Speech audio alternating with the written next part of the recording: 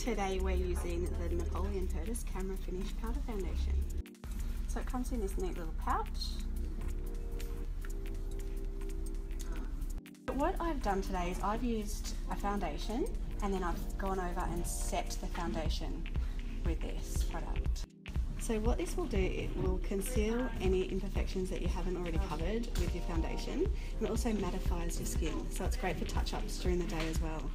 So you can just purchase the one colour, but what I've done today is used three on the face. I've used the colour caramel through these areas here.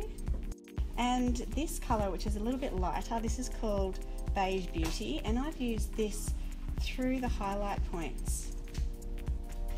Another good thing about this product, um, it's got some anti-aging properties in it, so it's got vitamin C and vitamin E.